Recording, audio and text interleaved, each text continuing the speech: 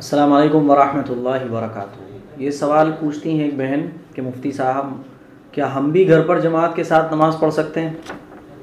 क्योंकि आजकल लॉकडाउन चल रहा है, सारे ही लोग घरों पर नमाज़ पढ़ रहे हैं तो मर्द हजरात तो घरों पर जमात कर लेते हैं। तो इन्होंने पूछा है कि मुफ्ती साहब, क्या घर की ख़वातीन भी एक साथ जमात के साथ नमाज़ पढ़ सकती हैं? तो इस मसले को समझ लें, औरतें आपस में जमात नहीं कर सकती हैं। हाँ इतना है कि घर में जो मर्द हजरात जमात के साथ नमाज़ पढ़ रहे हैं, औरतें उसी जमात में शामिल हो सकती हैं। लेकिन औरतें ही औरतें अलग से जमात बनाकर एक साथ नमाज़ नहीं पढ़ सकती हैं। औरतें अगर जमात में शामिल हो जाएँ, जैसे कि घरों में लॉकडाउन चल रहा है आजकल तो घरों में लोग जमात से नमाज़ पढ़ रहे हैं मर्द हजरात। तो उसी मर्दों की जमात में औरतें शामिल हो सकती हैं।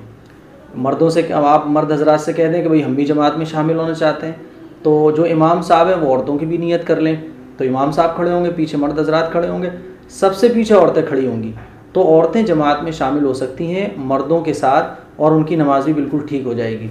लेकिन औरतें अलग से जमात बनाकर अगर नमाज़ पढ़ेंगी तो फिर ये दुरुस्त नहीं है। हाँ घर में जो मर्द हजरात नमाज़ पढ़ रहे हैं, उनके साथ जमात में अगर औरतें शामिल हो जाएँ, सबसे पीछे और इमाम साहब औरतों की नीयत कर लें तो औरतों की नमाज़ बिल्कुल ठीक हो जाएगी।